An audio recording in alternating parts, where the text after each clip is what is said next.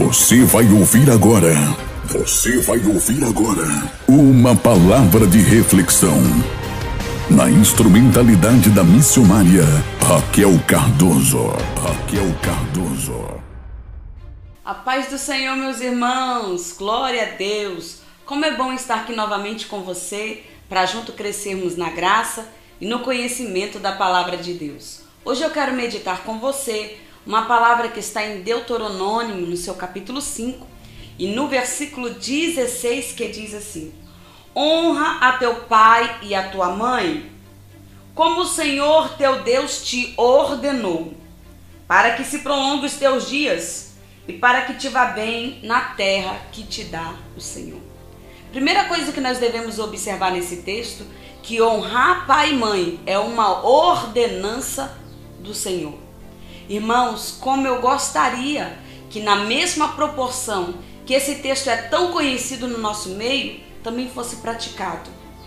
Porque constantemente vemos ao contrário e ao inverso do que diz a palavra de Deus. Não faz muito tempo que muito entristeceu o meu coração ao ver uma reportagem de uma senhora que precisou ser levada pela filha a um posto de saúde para tomar uma medicação. E ali aquela senhora viu a oportunidade de fazer um pedido de socorro. Escreveu em um bilhetinho e entregou uma enfermeira porque sofria maus tratos na casa da filha.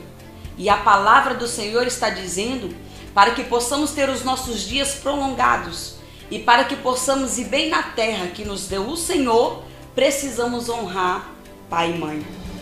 Eu ouvi uma história que me fez refletir muito e me fez lembrar desta passagem. De um senhor já avançado em idade, com as suas mãos trêmulas, com a sua visão turva, foi morar na casa do seu filho.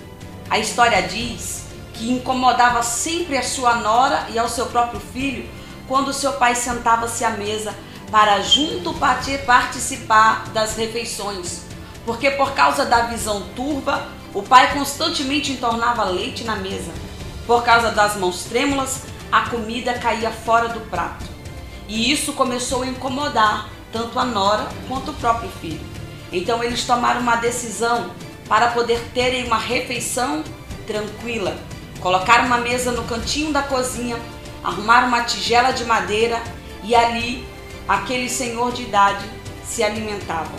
Ele só não contava que o seu filho de quatro anos, o netinho daquele senhor de idade, observou toda aquela ação e ele teve uma, uma atitude inesperada. Na hora do jantar, o pai está esperando o filho sentar à mesa. Foi atrás do filho e encontrou ele no meio da sala, manuseando alguns pedaços de madeira. E ele perguntou para o filho: Filho, o que é que você está fazendo?